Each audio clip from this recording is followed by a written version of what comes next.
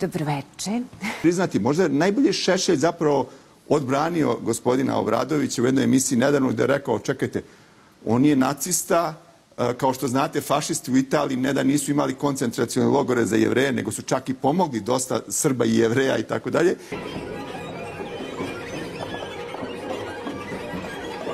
E, nego su čak i pomogli dosta Srba i jevreja i tako dalje.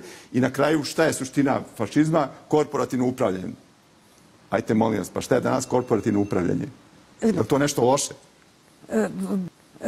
U krajnjoj liniji, pa Evropa je danas prepuna raznih Boška Obradovića od Italije, p- Poljske do Mađarske. Zašto bi to bilo, zašto bi to uopšte bio problem?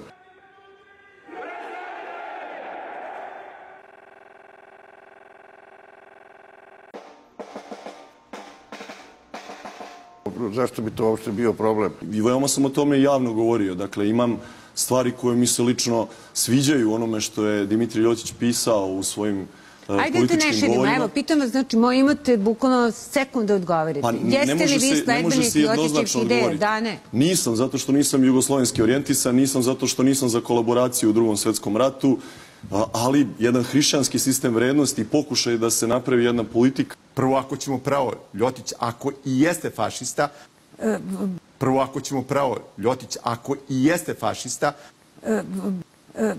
prvo, ako ćemo pravo, Ljotić, ako i jeste fašista,